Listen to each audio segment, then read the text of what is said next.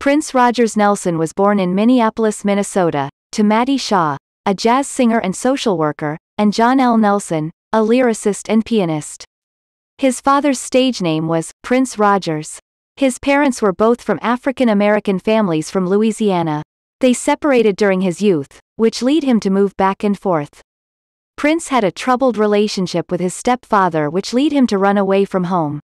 Prince was adopted by a family called the Andersons. Prince soon after became friends with the Andersons' son, Andre Anderson, Cymone.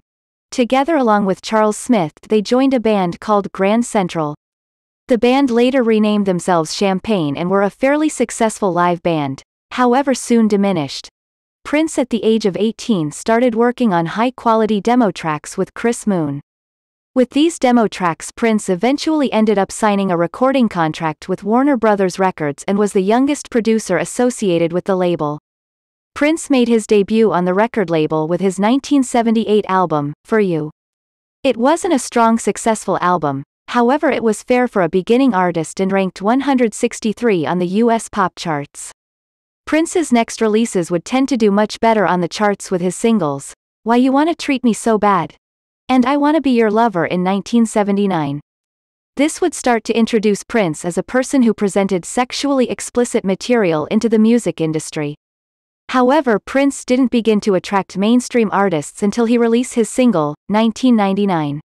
This single began to be noticed by MTV viewers and this would make him a part of the mainstream music media. Prince released two more singles called Little Red Corvette and Delirious. The album featured Prince's new band, The Revolution.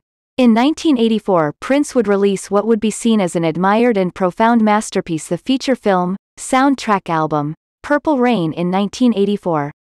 Prince's father contributed to this album, by co-writing the chord sequence for a couple of his songs. Prince continued to give co-writing credit to his father on several other albums, as his famous chord sequence would be used in several of Prince's singles and albums. A lot of Prince's songs did not agree with listeners in one of his songs.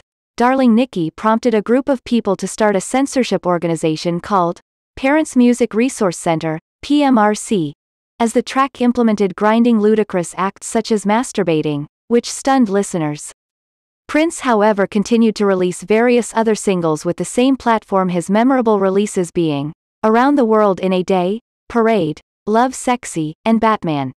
Prince released a sequel to Purple Rain in 1990 called Graffiti Bridge. A soundtrack album accompanied this movie entitled, Graffiti Bridge. The film did terrible in box office and was nominated for several Razzie Awards.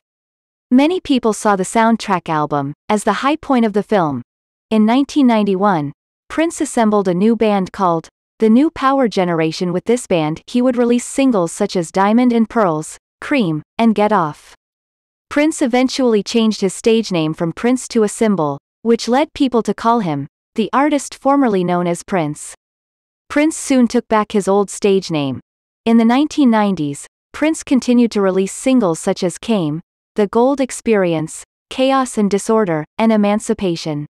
With the rise of the new millennium, Prince released material such as a religious album called The Rainbow Children, One Night Alone, The Chocolate Invasion, The Slaughterhouse, and had a collaboration with Stevie Wonder on Stevie's single called What the Fuss in 2005.